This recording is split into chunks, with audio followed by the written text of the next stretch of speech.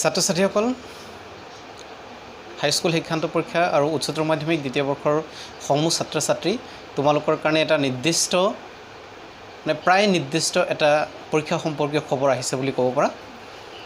আজি ৰাজ্যৰ মুখ্যমন্ত্ৰীগৰাকীয়ে সংবাদমেলত কোৱা মতে পৰীক্ষা জুলাই মাহৰ মাজভাগত পতাৰ কথা চিন্তা কৰি থকা হৈছে আৰু এই পৰীক্ষাৰ পতা প্ৰকৃততে পাতিব পৰা যাবনে নাই সেয়া নিৰ্ণয় কৰিব ক'ভিড নাইণ্টিনৰ পজিটিভিটিৰ হাৰে দুই এদিনতে তাক ৰুটিন পৰীক্ষা প্ৰগ্ৰেমো ঘোষণা কৰা হ'ব।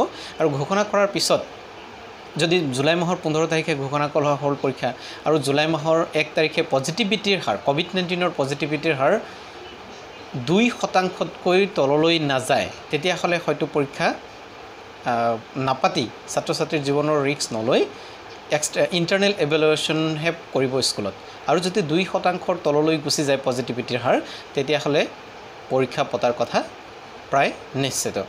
গতিকে পৰীক্ষা পৰম্পৰাগত পদ্ধতিত নহয় পৃথকভাৱে এক পৰীক্ষা পতাৰ কথা ঘোষণা কৰা হৈছে আজি। গতিকে তোমালোকৰ এটা প্ৰায় নিশ্চিত এটা খবৰ পাব পাৰিছা যে পৰীক্ষা হ'বনে নাই।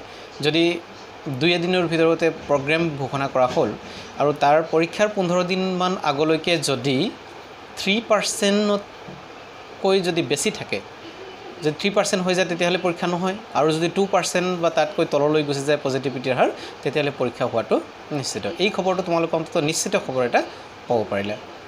ধন্যবাদ।